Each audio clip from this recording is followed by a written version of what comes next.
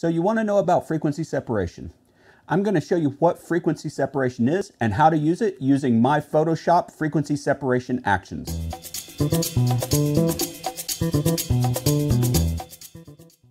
Welcome everyone, I'm Josh Mills and this is video one of two videos where I will cover frequency separation. In this video, I explain what it is and show you how to retouch skin texture and details using frequency separation. In video two, I will show you how to retouch your colors and tones with frequency separation using the mixer brush. I will put a link to that video up above and down below in the description of this video. So what is frequency separation? Frequency separation is where you take your image and you split it into separate layers.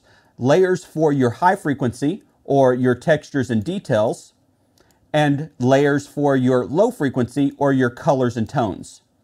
This allows you to work on your textures and details independent from your colors and tones, and then merge it back into a single layer later for a very natural but high-end result. Okay, I'm going to show you why being able to work on the color and texture independent of each other is a benefit to us. Previously, people would use tools like the patch tool and they would take and circle a blemish and then go and copy skin texture from another area. As you can see, it copies an identical patch of skin and tries to match the color and tone, and it kind of softens and blurs the skin texture. So this does not look good. Another technique was using the spot healing brush. The spot healing brush basically would be set to content aware, and they would sit here and try to spot heal the blemishes out. Photoshop would try to replicate the texture and the color tones, but it was never completely realistic. So the texture is blurred and the color tones don't match. The clone stamp tool, basically you got to sample an area. So if I sampled over here to replace this blemish, you get the good texture, but it also is copying the wrong color and skin tone into that area. So if I sample here to paint out there, you see that the color is dark where it should be light. That's why being able to copy the texture into areas without bringing the color and tones along with it is a benefit to us. So how do you use frequency separation? First, make sure and grab my Photoshop retouching actions from the link in the description below so you can follow along with your own images. You may want to also save this video to a playlist now so that you can come back to it anytime to reference it. Let's go ahead and jump into it now. With your background layer selected, let's go ahead and choose the JM Frequency Separation Full from the Actions panel and click on the Run button. You will then be prompted to choose a pixel radius for the median. So let's go ahead and zoom into 100% by pressing Control 1 on a PC or Command 1 on a Mac so we can see the details that we want to be working with. For our pixel radius, we want to choose a setting where we are removing all of the good skin texture, fine details, and any details of blemishes that we want to remove. So we're going to slide this up and watch as those details start to disappear. We do not want to go so high that we blur out the underlying color and tones into just a unrecognizable shape. So let's go ahead and take that down and find a good spot in between where we are losing all of the skin texture and fine details, but we are still retaining the shape of the underlying color and tones. So 16 looks good to me. I'll go ahead and hit OK. You will then be prompted a second time. Here, you will not make any changes. All you need to do is hit OK again. And now the action will go ahead and create our frequency separation layers for us. So now we have our frequency separation layers created for us in a frequency separation group in our layers panel.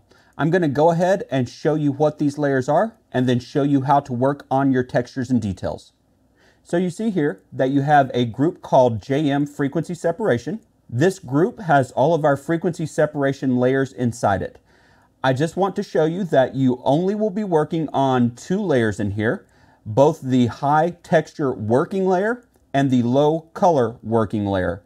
I named them working layers so that you know those are the layers you will be making your changes on.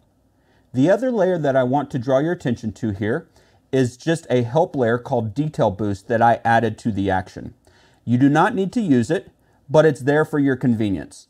All it does is if you take and hide your underlying layers that have color on them, so you only have your texture layer visible, and then you enable this detail boost layer, it enhances the details so you can see what you are working on.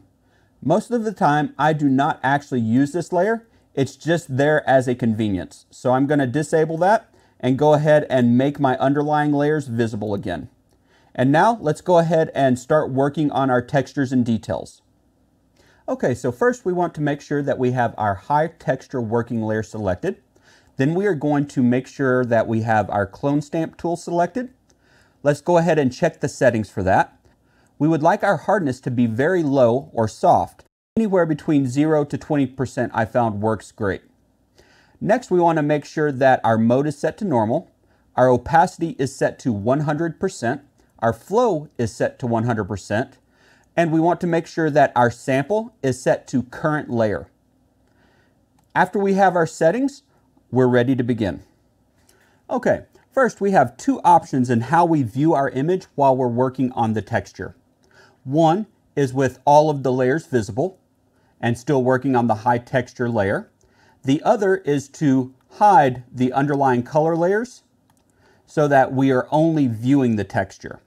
This is where that detail boost can help you out. With this view, you don't have the distraction of the underlying color while you're trying to clone into different regions of the skin texture. Neither view is right or wrong, it's more of a personal preference. For today's demonstration, I'm going to work with the color enabled. So let's move over here to these blemishes on the cheek. For the size of our clone stamp tool, we do not want to have a large diameter cursor because we do not want to sample and move large patches of skin. What we want to do is make our cursor size about the same size as or smaller than the blemish or feature that we're trying to remove. Now I'm going to go over, press and hold the Alt key, and sample skin nearby, and then come over here and just brush out that blemish. Let's move down here. I will resample nearby and brush out that blemish. Now I want to quickly go over the different skin textures and regions of the face and why you should sample from certain areas and not others. I'm going to quickly add a blank layer here so I can grab the paintbrush and let's zoom out here. So when I'm talking about skin texture and different regions of the face, if you look at your images, you will notice that the texture in different areas on the face is different than other areas. The problem I see with many people is they will sample from one area and stamp into another area. And this creates a texture that does not belong in that part of the face. So you do not want to sample from the skin directly under the eye to replace the skin on the cheek. You don't want to sample from the bridge of the nose to replace skin on the upper lip. You don't want to sample skin from the side of the jaw to replace skin on the chin. All of these areas, the texture varies. And if you start replacing skin in one area from texture in another area, you will start to notice these wrong textures. So be very aware of the different textures in all the different areas of the face because they can change very quickly and dramatically very near each other. Now I want to show you another tool that I added to the actions. So let me go ahead and make a big mistake here that's obvious. Let's go ahead and grab the eyebrow and let's clone it into the bridge of the nose. So now you can see that I've cloned the wrong texture completely into this area of her face. And I want to correct it quickly. All you need to do is grab your lasso tool, go and circle that area that you made the mistake, go over and select the JMFS repair, that's frequency separation repair, and press the play or run button. And you will see that it automatically corrects this for you. What it's doing is it's actually copying the underlying original texture back over your mistake. So then you just go back over, grab your clone stamp tool, and you can continue to work. Okay, back to retouching the texture on the face. Let's go ahead and go back over here to these blemishes. And let me readjust my brush size again. And I will show you that I'm going to sample right here near the blemish I'm removing so that I'm grabbing similar texture.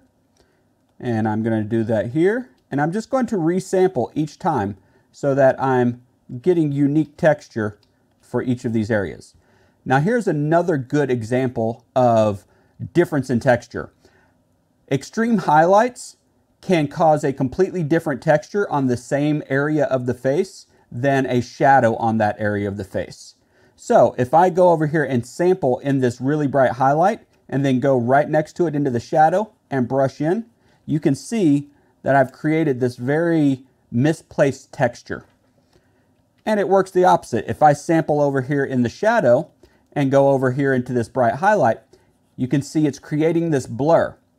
So now that we've gone over the basics, I'm not going to make you sit here and watch me for the next 5 to 10 minutes retouch all of the texture on her face.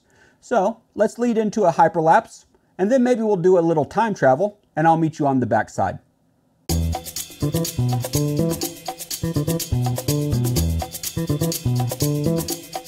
All right, everybody, I'm back. It's eight and a half minutes into the future, and I've gone through and retouched all of the texture on the face. Now, I want to point out a few things for you real quick. First, you can see the difference of the before and after by toggling your high texture working layer on and off. So if I turn that off, you can see the before and after.